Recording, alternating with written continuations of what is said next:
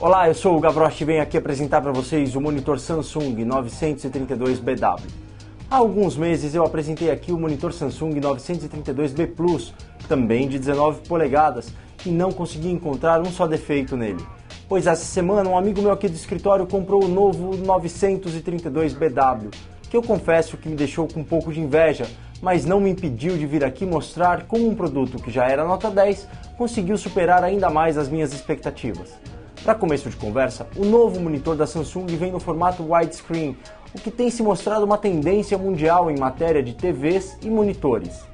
Talvez você ache que ter uma tela no formato 16 por 10, como esta aqui, não faça muita diferença e até prefiro o formato 4 por 3 para trabalhar no escritório.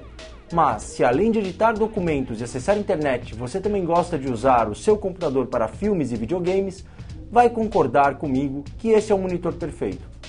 Seu tempo de resposta foi reduzido dos antigos 5 milissegundos para apenas 2 milissegundos. Isso significa que o olho humano não consegue perceber nenhum borrão ou atraso na atualização da imagem. Em resumo, imagens mais nítidas e claras, mesmo em movimentos de cenas mais intensas.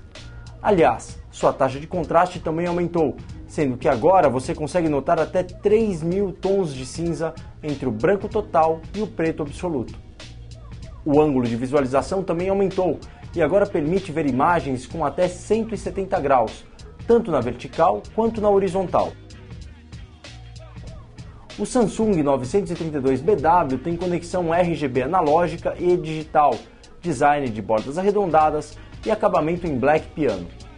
Confira mais informações na ficha detalhada de produto aqui do nosso site.